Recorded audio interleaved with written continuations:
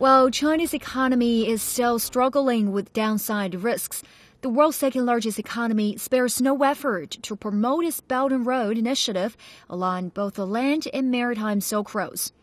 Economists say the maneuver shows China's willingness to share growth with other economies while pursuing its own growth.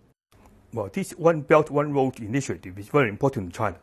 In a sense, it, it uh, uh, synthesizes both the so-called going out and uh, the, the, the, so-called uh, bringing in strategy to China.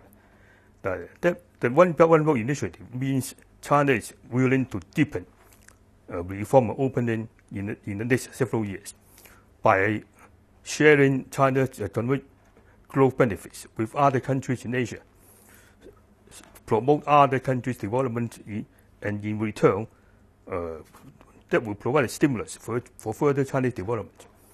And with the recent official launch of the Asian Infrastructure Investment Bank, or AIIB, experts say China's economic links have increased.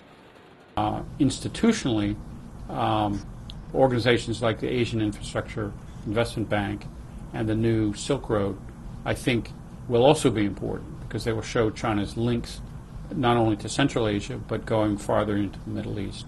And some of the plans for the Silk Road actually show railroad uh, links going into Europe. So the, these will be an important force for integrating the economy on a global basis.